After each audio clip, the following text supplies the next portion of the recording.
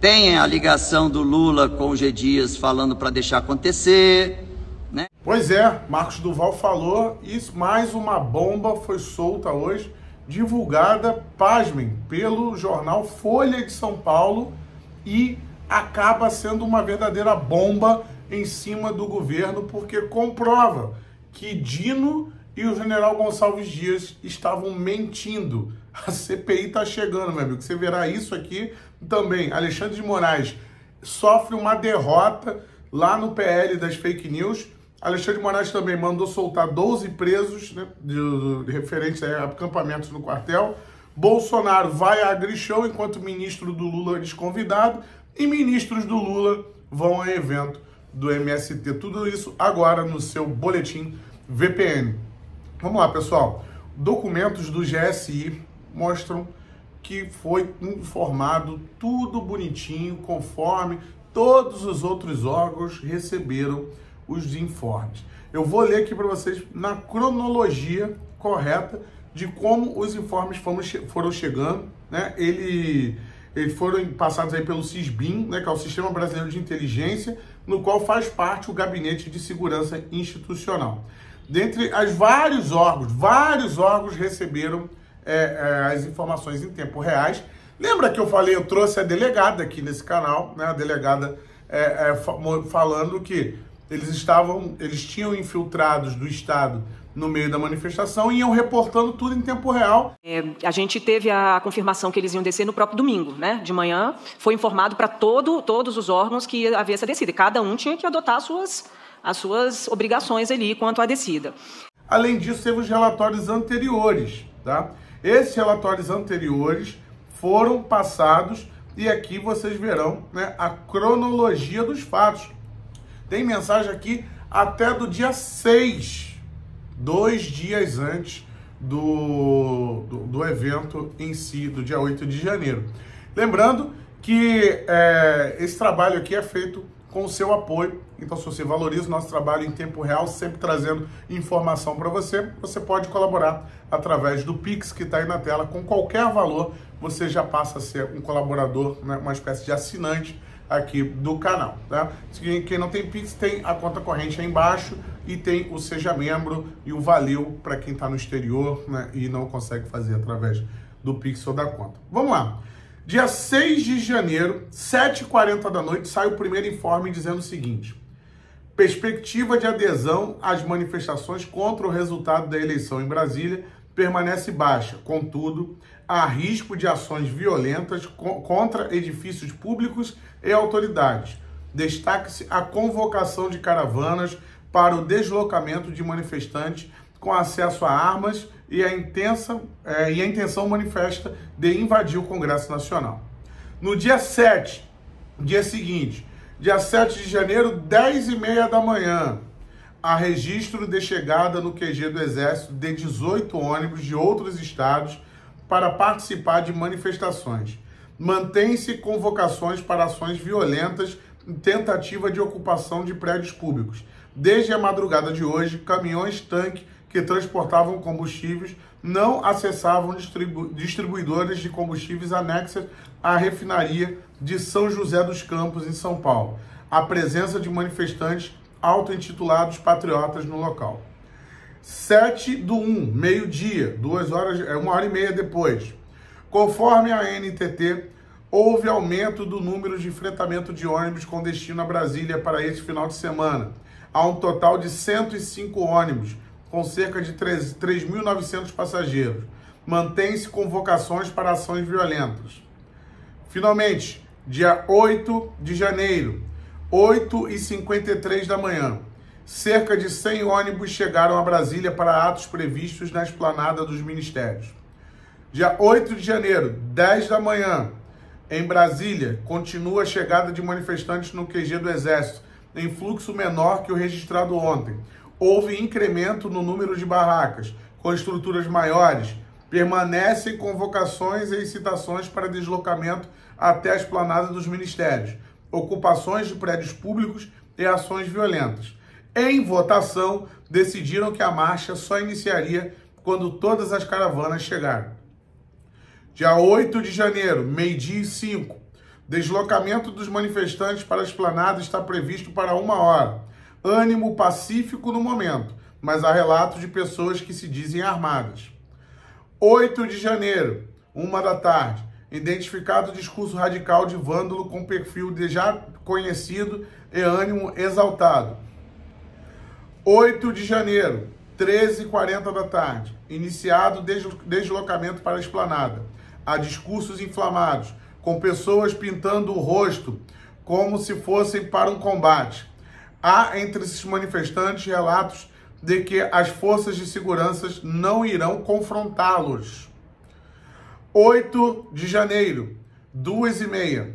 Frente da marcha alcançou a primeira barreira policial na via que passa ao lado da catedral. Já há manifestantes em frente ao Congresso. Efetivos da PM encontram-se no local. Alguns manifestantes estão montando barracas na esplanada dos ministérios e artefatos potencialmente perigosos foram deixados no gramado. 8 de janeiro, 2h45 da tarde, em Brasília, a marcha chegou em frente ao Congresso Nacional. Manifestantes romperam a barreira policial e o grupo encontra-se na rampa do prédio. Tudo isso aqui foi feito em tempo real pelo grupo de, de órgãos que deveriam monitorar aí. E reparem, chama a atenção a mensagem é, de 13h40 da tarde. Iniciado o deslocamento para a esplanada a discurso inflamado com pessoas pintando o rosto como se fossem para combate. Há entre manifestantes relatos de que forças de segurança não irão confrontá-los. E sabe o que, que o Flávio Dino e o Gonçalves Dias, o GSI no geral, falou sobre esse vazamento da Folha de São Paulo hoje? Disseram que é mentira. tá cara dura. Eles estão com os documentos, estão com os informes, estão dizendo que não, não receberam. É, meu amigo, essa CPI vai, CPMI vai dar o que falar. Né? É, Arthur Maia deve ser o presidente, vamos ver. Essa semana vai ser ah, depois do feriado. Inclusive terão manifestações né, no primeiro de maio. Copacabana vai estar lotada de gente.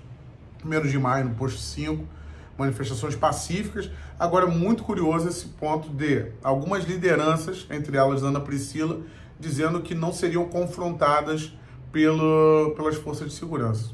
Como eles tinham a garantia disso? Fica claro aqui, né? Alexandre de Moraes é derrotado no PL das fake news. Essa é a nossa próxima matéria do boletim de hoje. E antes disso, só quero lembrar para vocês que toda a livraria Vista Pátria está em promoção, com lançamentos como o livro Faz o L, entre outros títulos que você pode adquirir com desconto. É uma Black Friday antecipada, então são descontos que você não vai encontrar nem tão cedo. Então aproveite, o link também está na descrição e também no primeiro comentário. Aproveite aí essa oportunidade na Livraria Vista Pátria. Alexandre de Moraes foi derrotado nas suas emendas que ele levou pessoalmente ao Congresso Nacional Trata-se do artigo 296, falsificação de selos públicos destinados a autenticar atos da União. Ele também tinha proposto 359L, abolição do Estado Democrático de Direito e tentativa de depor o governo, perturbar o resultado das eleições e restringir o exercício dos direitos políticos por preconceito, utilizar meios de comunicação com o fim de abolir, abolir o Estado de Direito. Isso tudo aí foi proposto pelo Alexandre de Moraes, ele tipificar isso dentro do PL das fake news, algumas que já estão no Código Penal, foi rejeitado. A, a, o que o Orlando Silva falou para poder sair pela tangente é que não deu tempo, como ele entregou muito em cima, não deu tempo de ser apreciado, como já vai ser votado nesse, é, nessa semana, na próxima semana, ele não deu tempo de apreciar isso aí. E o, o presidente Jair Bolsonaro vai estar na AgriShow, o maior evento a maior feira do agro no Brasil, e o ministro do, do da Agricultura do Lula foi é, desconvidado devido à presença de Bolsonaro. Eles preferem que Bolsonaro esteja no evento ao invés do, do ministro é, é, da Agricultura, né, que inclusive o ministro da Agricultura tem dado péssimas declarações. E como se não bastasse né, o, o ministro ser desconvidado aí da AgriShow, terão ministros do governo Lula que participarão do, da quarta edição da Feira Nacional da Reforma Agrária, um evento promovido pelo MST. Paulo Teixeira, ministro do Desenvolvimento Agrário, e Alexandre Padilha né, vão participar do evento bonitinho lá, estarão presentes é, e, inclusive, né, eles resolveram é, receber autorização do Tarcísio para o governador Tarcísio de Freitas para poder fazer esse evento e participarão lá desse evento. Inclusive, é, contará com a Leda Elane Azevedo, nutricionista e professora da Universidade Federal do Espírito Santo. Reforma agrária, uma boa desculpa para expropriação de terra, né? porque o que nós vemos eles fazendo, na verdade, é chantagem. Ah, o que vimos na invasão da fazenda de Suzano, né? a fazenda Suzano, da empresa Suzano, lá no Espírito Santo, foi em, em Aracruz, foi exatamente aí uma, uma extorsão. Né? Não, não tem nada a ver com a reforma agrária, já que aquilo ali é uma terra produtiva. E só para a gente fechar aqui o nosso boletim de hoje, a Rússia é, fez um ataque atípico, né, muito intenso nessa madrugada, inclusive acertando ali é, aos arredores de Kiev com mísseis, prédios que estavam fazendo armazenamento, prédios civis utilizados pela Ucrânia para poder armazenar armas, né? E foram atacados aí pela Rússia. No Dnipro também houve um ataque muito intenso um ataque atípico. Vamos lembrar que a contraofensiva ucraniana está prestes a começar. Pode ser algum indício aí já da neutralização russa é, contra essa contraofensiva ucraniana. Vamos ver o que sai daí, né? A guerra tomando dimensões cada vez maiores e o Lula falando bobagem lá na Espanha. Foi Alan Frutuoso. Inscreva-se no canal. Tem um cadastro que você faz aí ó, no link alanfrutuoso.com, clica lá, deixa o seu nome, seu telefone e o seu e-mail para nós não perdermos contatos um com o outro, mesmo que soframos censura. Fala Frutuoso, até a próxima, tchau, tchau.